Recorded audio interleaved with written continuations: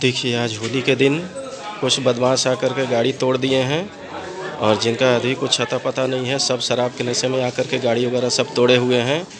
बंदूक वगैरह लेकर के आए थे, किस इरादे से आए थे, कोई पता नहीं है।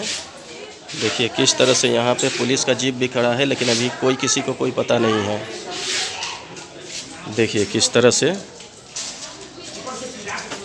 नीतीश कुमार का कहीं कोई किसी भी चीज़ पे लगाम नहीं है।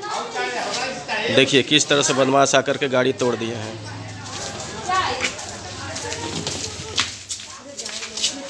देखिए यहाँ पे सिपाही जी लोग।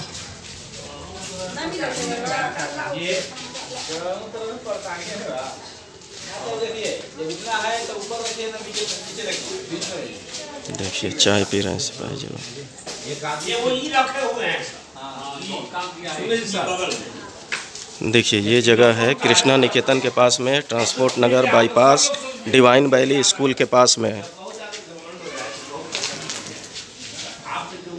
यहाँ पे सब बदमाशों का गढ़ हो गया है। थाना पुलिस सब आराम से देखता है, कमीशन खाता है।